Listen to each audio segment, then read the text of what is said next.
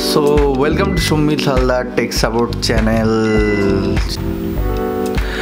So welcome to Sumit Halda tech support channel मैं हूँ सुमित और मैं आज आपके सामने लेके आए हुए एक टॉपिक जो इसके बारे में बताना ज़रूरी उतना भी नहीं है क्योंकि सभी लोगों को शायद पता होगा या फिर जिन लोगों को पता नहीं है उसके लिए ये वीडियो है तो ये वीडियो होगा, जैसे कि थंबनेल पे देख रहे हो। 50 mm का जो पुराना लेंस है, उसके साथ जो नया लेंस अभी निकल के आया है, वो लेंस का डिफरेंशिएशन या फिर नया लेंस खरीदने के बाद आपको क्या एक्स्ट्रा फीचर मिलेगा, इसी प्राइम लेंस के जगह पर ये कैनन का 50 एम mm हाँ 1.8 एपर्चर वाला ही लेंस है, जिसका प्राइस बहुत ज़्यादा ही कम है और जो नया आके निकला है, वो बहुत ही ज़्यादा है। चलिए वीडियो को देखते हैं साइड डिटेल्स पता करते हैं क्या है। एक्चुअली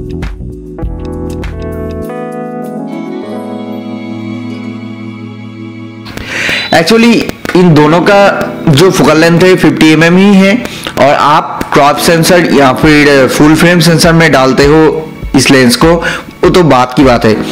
पर फ़िलहाल के लिए जो नया वाला जो लेंस है, उसके साथ ये पुराना वाला लेंस का जो डिफरेंस होगा, वो क्या रहेगा? पहला बात करूँ, नया वाला जो लेंस है, उसका प्राइस थोड़ा ज़्यादा है। नहीं, बहुत ही ज़्यादा है। करीब बीस हज़ार के आसपास, अठारह हज़ार से बीस हज़ार के आसपास, पंद्रह हज़ार से नीचे आप खरीद ही नहीं सकते हो उस लेंस को। अगर ऑफलाइन में बिकता है तो अच्छा होगा, पर ऑनलाइन में आप अठारह हज़ार के नीचे नहीं देख पाओगे। तो आप अगर ऑनलाइन खरीदना चाहते हो डिस्क्रिप्शन बॉक्स पे मैं लिंक डाल दूँगा उस लेंस को। लेंस का आप देख के खरीद सकते हो और इस वीडियो को ज़रा पहले देख लो तो आपको अच्छा होगा कि डिसाइड करने में कौन सा लेंस आपके लिए सही होगा। क्योंकि प्राइस भी बहुत ही ज़्यादा है, करीब डबल से भी ज़्यादा। तो दोगुना प्राइस से आप नया वाला लेंस खरीदना चाहते हो या फिर कंफर्टेबल हो इस पुराने लेंस से। तो ये पुराना लेंस में जो प्रॉब्लम था, वो तो काफ़ी हद तक नहीं, पूरी तरीके से अप्रॉक्स 90 परसेंट सॉल्व कर दिया गया है जो नया वाला लेंस है 50 एम mm का कैनन 1.8 एपर्चर वाला। तो वहाँ पर जो पॉइंट्स मैंने देखा, मेरे पास वो लेंस नहीं था, मैंने देखा चेक किया है। तो इस लेंस में जो प्रॉब्लम था प्रॉब्लम नंबर एक जो साउंड होता था यानी आप जब वीडियोग्राफी करते हो ये ऑटो फोकस में रहता है तब जाके कैमरे में और कोई एक्सटर्नल माइक ना होने की वजह से जो रिकॉर्डिंग्स होता था उसके अंदर ये लेंस का जो फोकसिंग साउंड हो, होता है मोटर मोटर का साउंड होता है वो रिकॉर्ड हो जाता था।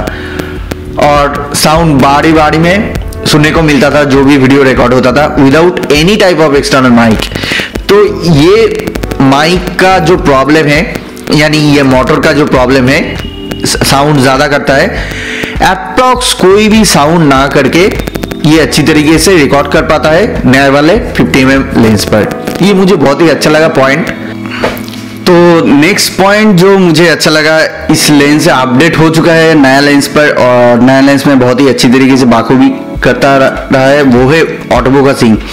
इसका ऑटो फोकसिंग थोड़ा स्लो है। ये जब कभी भी उतना फास्ट नहीं है, नया जैसा। नए में आपको मिलेगा बहुत ही fast auto focusing compare to this old lens but मुझे लगता है कि ओल्ड लेंस में अगर आप कंफर्टेबल हो तो दिगुना प्राइस से खरीदने की ज़रूरत नहीं है। आप पुराना लेंस से भी सेम फोटोग्राफी या फिर उससे अच्छा फोटोग्राफी कैप्चर कर सकते हो। आप एडिटिंग भी करना पड़ेगा आपको और नए में और भी स्मूथ हो जाएगा फोटोग्राफी या फिर वीडियो वीडियोग्राफी भी। जो लोग वीडियो करते हैं, इसमें उतना अच्छा फोकसिंग कैप्चर बाय एबिलिटी नहीं रहता, यानी तो आपको नया लेंस में अगर शिफ्ट करना है तो ज़रूर आपको फोकसिंग पॉइंट या फिर जो फोकसिंग मूवमेंट है, वो बहुत ही स्मूथ होता रहेगा नया लेंस में। तो जो थर्ड वाला पॉइंट है, वो मैं प्राइस की बात करूँगा। प्राइस इसका बहुत ही ज़्यादा डिफरेंशिएशन हो गया है। अब तो ये नहीं रहा कि सबसे कम प्राइस में मिलेगा प्राइम लेंस जो साढ़े आठ हज़ार से नौ हज़ार में मिल जाता है। तो मुझे लगता है कि प्राइस का जो डिफरेंशिएशन है धीरे धीरे कमता जाएगा। कम होता जाएगा। और ये कमते कमते शायद दस हज़ार या फिर उससे ज़्यादा, दस से बारह हज़ार तक रहेगा तो ठीक रहेगा मेरे हिसाब से।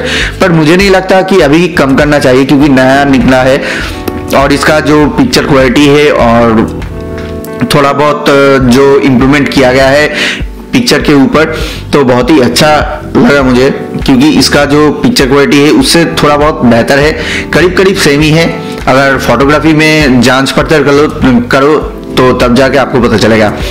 हो आपको ये तीन पॉइंट आसानी होगा जानने में और जान के खरीदने में जो पुराना वाला लेंस खरीदना है या फिर नया वाला लेंस जो 15 कैनन का लेंस है 1.8 पॉइंट एपेक्चर वाला।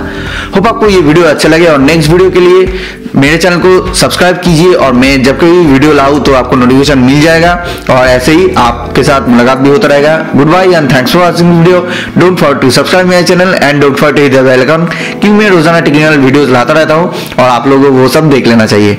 गुड बाय एंड जय हिंद